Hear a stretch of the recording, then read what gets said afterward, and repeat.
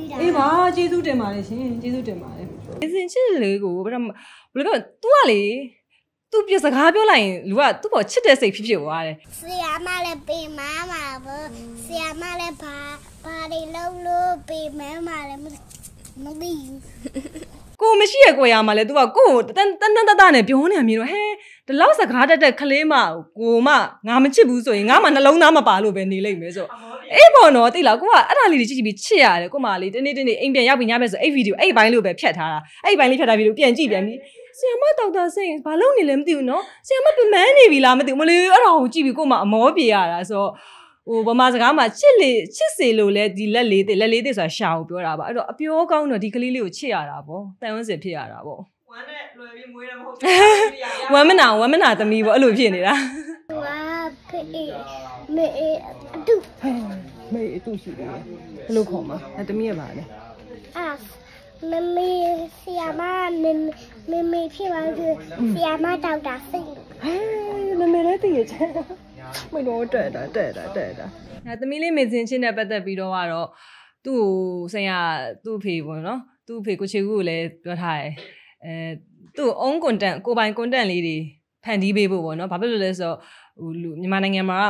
ကလူတစ်ယောက် ဘုံဆိုပြီးတော့ popular ဖြစ်လာပြီးဟေ့ဆိုနာမည်ကြီးရဲကြော်ညာရိုက်ကြလူတွေအများကြီး share ကြအားပေးကြတယ်ပြီးရင်ဝုန်းဆိုအဲ့လူကပြန်ပြောက်သွားတာပေါ့နော်အဲ့တော့ပြန်ပြောက်သွားတဲ့အကြောင်းအရာဘာလဲဆိုတာကြီးကြီးရခါကျသူ့မှာ own talent မရှိလို့ပေါ့နော်ဒါစိတ်ခဏခဏပြောသူ့ရဲ့ talent မရှိတဲ့ခါမှာပျောက်ကွယ်သွားအဲ့တော့ကိုဒီစမ်းကောင်းသည်ဖြစ်စေမကောင်းသည်ဖြစ်စေကိုပိုင်ရည်ချင်းတစ်ခုရှိမယ်ဆိုရင်အာအလုံးဝအတက်အတက်ကြမ်းနေတော့မှအကြမကြမ်းတော့ဘူးအရေးကြီးတာအကြမကြမ်းမို့လို့တယ်အဲ့တော့ဟိုကဟို linear line လေးလိုမျိုး stable ဖြစ်ဖို့ဆိုရင် ဟိုသူ့မှာဆိုပါစို့သမီးလေးမေးစီရှိဆိုသူ့ရဲ့ကိုပိုင် video clip လေးတွေပုံမှန်ရှိမယ်ဆိုရင် viewer လေးတွေပုံမှန်ရှိမယ်နောက်ဆုံးမဟုတ်ဘူး YouTube မှာတင်မယ် Facebook မှာတင်မယ်ဆိုရင်တော့သူဒီကနေ income တစ်ခုဝင်နေမှာပေါ့လေစိတ်ကအဲ့လိုမျိုးလေးဖြစ်စေချင်တာအဲ့တော့ဟိုကလေးနဲ့ပတ်သက်တဲ့ content ကလေးချမ်းမှာကိုကဆရာဝန်ဆိုကလေးချမ်းမာကြီးနဲ့ပတ်သက်ပြီးတော့ကလေးပညာရေးနဲ့ပတ်သက်ပြီးတော့ကလေးတွေရဲ့ safety နဲ့ပတ်သက်ပြီးတော့သမီးလေးနဲ့အဲ့လိုလုပ်သွားမယ်ဆိုရင်သမီးလေး video ကိုကြည့်တဲ့သူလည်းအကျိုးရှိမယ်သူကိုယ်တိုင်လည်းအလိုလိုနေဘယ်ကြောင်မှမရိုက်ရလို့ကိုပေါ့ဝင်ငွေရနေမှာအဲ့လိုမျိုးလေးလုပ်ပေးဖို့ ရှိရယ်သူသူ့ဖေဖေဖေလည်းပြောထားရပေါ့နော်နောက်အရေးကြီးကတော့ကလေးရဲ့ပညာရေးပေါ့ဒါပေမဲ့ကလေးကအခုမှမူကြိုတက်တာ2လ3လလောက်ပဲရှိသေးတာဟုတ်ဟိုချို့ချို့တွေလည်းတွေ့ပါမလေးကြောညာပဲရိုက်နေရလားကလေးကကြောင်းမတက်တော့ဘူးလားဆိုကိုဒီဆိုပေးပါလေ3 4 5တန်းဒီစော့ကောင်းတော့လေသိရမလား तू ကမှဒီသူငယ်တန်းနဲ့ပတ်စံရှာနိုင်ပြီးတော့မိဘကိုပြန်ထောက်ပံ့နေတာချီကျူးရမယ်နော်အဲ့တော့သမီးလေးနဲ့ပတ်သက်ပြီးတော့ပညာရေးနဲ့ပတ်သက်ပြီးတော့အကြံပေးသွားမယ်အော်ပြီးတော့ own content creation နဲ့ပတ်သက်ပြီးတော့လည်းအများကြီးကူညီပေးသွားမယ်လို့တော့တွေးထားပါတယ်သမီးလေး ရဲ့စကားပြောဆွမ်းရဘယ်လိုလေးမြင်ပြီလဲဒါရှေ့ပောက်သွားတယ်ဆိုတော့ဒီစကားပြောဆွမ်းရကောင်းလို့ပောက်သွားတာပေါ့နော်သူနဲ့သူဆရာနဲ့အဲ့စကားပြန်လဲပြောဆရာချစ်ဆရာအဲ့ဗီဒီယိုဖိုင်လေးမှာပောက်သွားအပြင်မှာတကယ်ကျတော့ဘယ်လိုမျိုးလေးရှိလဲတုံးပေးပါဦးမင်းလေးကမေစင်ချစ်ကိုဟာမီဒီယာတွေကတွေ့ရဆိုလဲလေသူကမိကိုနေမိချသမီးလေးဘာဖြစ်ချင်လဲညာဖြစ်ချင်မျိုးသူကတလုံးမအောင်မထွက်တော့တခြားချစ်တဲ့သူတွေကလည်းသူ့သမီးလေးဆိုလက်ဆောင်တွေလာပေးကြတယ်သူက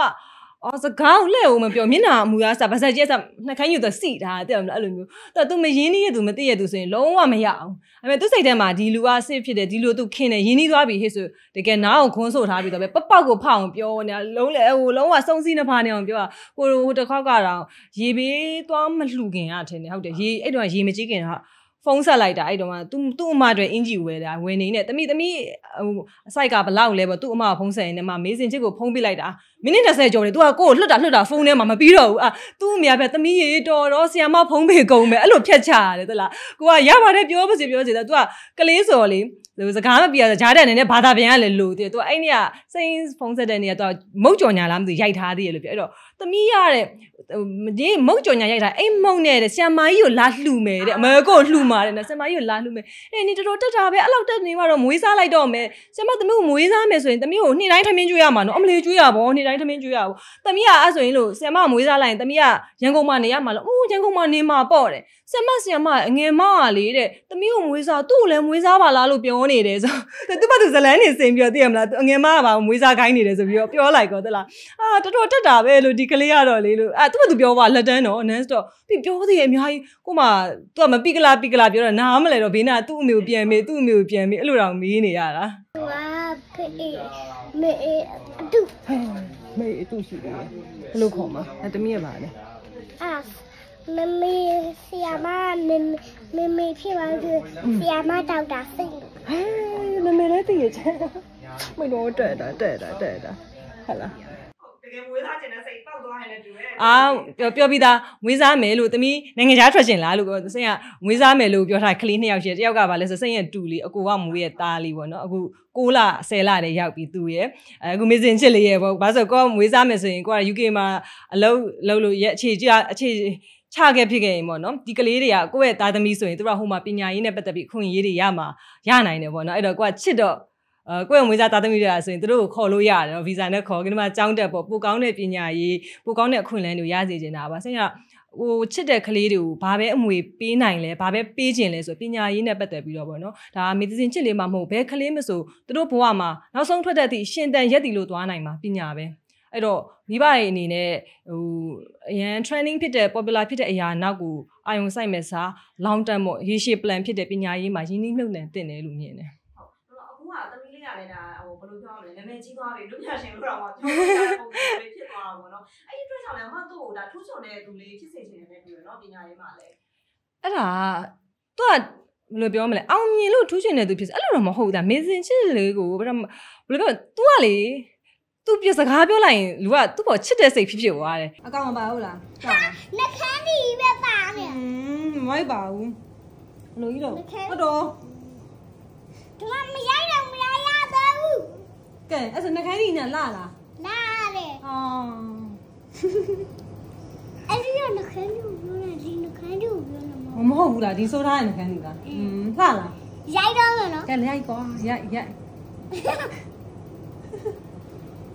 လိုက်မမဟိုကြအဲ့တိတော့မငါရမလားမပါပုံကြီးတော့ဝိုင်းတော့ခါလေရိုက်ပြီအာတိလိုက်ပြီငါငါငါရုပ်ဆိုးပုံကြီးတက်သွားပြီပေါ့ဟုတ်လားငါလောက်တာလေးပြောအေးဟုတ်ပြီဟုတ်ပြီငါလောက်တာဒီထိုင်လို့အေးထိုင်ပြီးတော့လို့ဟုတ်ပြီကို ချောလို့ရိုက်ပြီးတာ အေးပါကျေးဇူးတင်ပါတယ်ရှင်ကျေးဇူးတင်ပါတယ်စိတ်အဲ့မှာဗီဒီယိုလေးတစ်ခုရှိပါတယ် तू live လွှင့်တာ तू live လွှင့်တဲ့ဗီဒီယိုလေးမှာ तू ကဘာပြောလဲဆို तू အမသမီးဟိုနှုတ်ဆက်လိုက်အောင်မမတို့တို့နှုတ်ဆက်လာဆို तू ကနေပြီး तू မနာတူလေးကပ်ပြီးဒေါက်တာစိတ်လားတဲ့အဲ့လိုပြောဒေါက်တာစိတ်မဟုတ်ဘူးတဲ့သမီးရဲ့ဒေါက်တာစိတ်နဲ့ကြည့်ရင်ကြည့်နေမှာပဲနှုတ်ဆက်လိုက်လေဆရာမဒေါက်တာစိတ်ဆရာမအရန်လာဆရာမလှလို့ဆရာမဘလို့လှလို့သမီးကလည်းလှသွားတာဟဲ तू ဘလို့ပြောနေရလဲပေါ့ဆရာမဆရာမ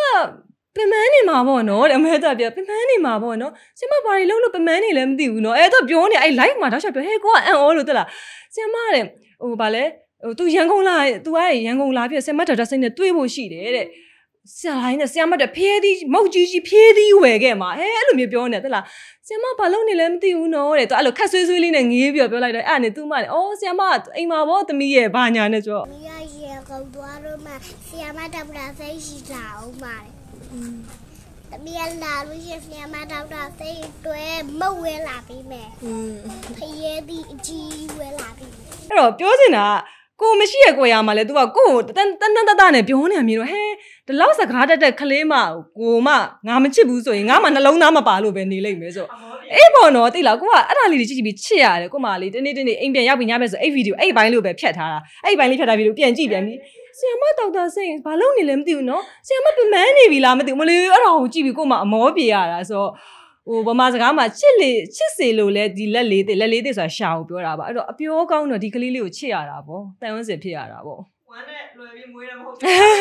ဝမ်းမနာဝမ်းမနာသမီးပေါ့အဲ့လိုဖြစ်နေတာ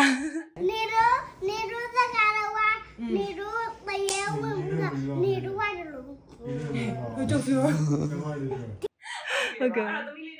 နဲ့ရှေ့ဆက်ပြီးတော့ဘယ်လိုမျိုးလေးထပ်ပြီးတော့လုပ်သွားဖို့ရှိလဲဒါဟိုသူစီရောသွားတယ်ကိုရှိအောင်လားသူတို့ကရောဘယ်လိုအခြေအနေမျိုးလေးရှိလဲတတိုးရွာကအခုလက်ရှိတော့ဘယ်လိုလဲတော့မသိဘူးပေါ့နော်စိတ်ပထမဆုံးရောက်သွားတော့ကလည်းအင်တာဗျူးတွေမှာလည်းဖြစ်ဖြစ်ဘူးပါတမီးတို့ရွာကလမ်းမဆက်သွယ်ရေးနည်းနည်းလေးလမ်းကျန်းနဲ့လမ်းခက်ခဲအခုတမီးလေးကတော့သူ့အမှုပညာကြီးလေးနဲ့လမ်းလေးခင်းပြီးပြင်ထားတယ်ဆိုတာတွေ့ရတာတို့ခေါ်ရပါတယ်တစ်ချက်ပေါ့နောက်တစ်ခုကလှက်စစ်မီးမရှိဘူးတမီးတို့ဆိုရင်ဒီ solar system နဲ့မီးသုံးနေရတယ်ကျန်းမာရေးပိုင်းမှာဆိုလည်းဆရာဝန်တောင်မရှိဘူးဆရာဝန်လည်းမရှိဘူးတိုင်းနယ်စီုံတော့ရှိတယ်ဆိုလားပြီးဆေးဆိုင်တွေလည်းမရှိဘူးကိုကွန်းရဆိုင်တို့မုတ်ဆိုင်တို့ကနေပြီးဒီဆေးလေးပါလေးညာလေးကိုအဲ့လောက်ပဲရှိဆိုကျန်းမာရေးဆောက်ရှောက်မှုအားတအားနေတယ်အဲ့ဒါကြောင့်လဲစိတ်နဲ့သမီးလေး medicine ချစ်စုံစည်းစေရေးဆက်လို့ပြောရမှာပေါ့နော်စိတ်ကကြတော့အခမဲ့ကျန်းမာရေးစောင့်ရှောက်မှုကို promote လုပ်နေတဲ့ဆရာဝန်တရားပေါ့ဒီခွန်ရှိရှိခွန်အခမဲ့ကျန်းမာရေး call center ဆိုတာသမီးလေး medicine ချစ်တို့လိုရွာလို့ဆရာဝန်လည်းမရှိဘူးအလွယ်တကူကျန်းမာရေးစိတ်ဝင်စေကံကိုမရောက်နိုင်ဘူးအဲ့လိုခက်တဲ့သူအဲ့လိုခက်ခဲတဲ့နေရာတွေအတွက် तू က ဖုန်းရှိအောင်ねပေါ့နော်ဖုန်းကကြာသူကနှစ်မျိုးရှိတာကို MPT Atten အဲ့နှစ်ခုနဲ့ခေါ်လို့ရတယ်ဒါပေမဲ့ Atten နဲ့ခေါ်ရင်ဖုန်းဘေးရော consultation charges ကို free ဆိုတော့အဲ့လိုနေသမီးလေးတို့ရွာလို့မြတ်ဆိုရင် Atten နဲ့ဖုန်းခေါ်လိုက်မယ်ဆိုရင်ညတနားရီနှစ်နာရီလဲဆရာဝန်နဲ့တဲ့ဓာတ်ရိုက်သူကပြောလို့ရတယ်ဆွေးနွေးလို့ရတယ်ဒီဘက်မှာဆွေးနွေးပေးတဲ့ဆရာဝန်တွေကလည်းတကယ်ထူးချွန်တဲ့ဆရာဝန်တွေစာမရပြီးသားဆရာဝန်တွေကိုယ်တိုင်ဆွေးနွေးပေးနေတာဆိုတော့ပြည်သူတွေအတွက်အကျိုးရှိတာပေါ့အဲ့ message ကို medicine ချစ်ကအောင်မြင် deliver လုပ်သွားနိုင်တာ public စီကိုဆိုတော့ သမီးလေးစားဂုံယူတယ်။ तू promote လုပ်လိုက်တာဒီဘာလဲဆိုအခမဲ့ကျမ်းမာရေးဆောက်ရှောက်မှုအများပြည်သူတွေ तू ကတည်ဆောင်ပေးသွားတာ။အဲ့တော့သမီးလေးကြောင့်တိသွားတော့ပြည်သူတွေကဘာဖြစ်လဲဖုန်းနေဆက်ပြီးတော့ကျမ်းမာရေးကြောင့်မေးကြဆရာမကြီးအမေကဘာဖြစ်လို့ကျမကဘာဖြစ်လို့အဲ့ရသမီးလေးကအရေးပေါ်ဘာဖြစ်လို့ညာညက်တာကြီးဖုန်းဆက်ပြီးမေးကြတယ်။မေးကြတော့အကျိုးရှိသွားတာဘာလို့လဲဆိုတော့အများပြည်သူအကျိုးရှိသွားတယ်။ဖုန်းပေးလည်းမကုန်ဘူး။သူတို့စေယုံစေကန်လည်းသွားစရာမလိုပဲအဆင်ပြေသွားတာဆိုတော့ဒါ medicine ချစ်ကစွမ်းဆောင်ရ appreciate လုပ်ရမှာပေါ့နော်။အဲ့တော့ဟိုရှေ့ဆက်ပြီးတော့လေဒီအခမဲ့ကျမ်းမာရေးနဲ့ပတ်သက်ပြီးတော့သမီးလေး medicine ချင်းနဲ့ရှေ့ဆက် လောက်သွားမဲ့ promote လုပ်သွားမဲ့အစီအစဉ်တွေအများကြီးရှိပါသေးတယ်။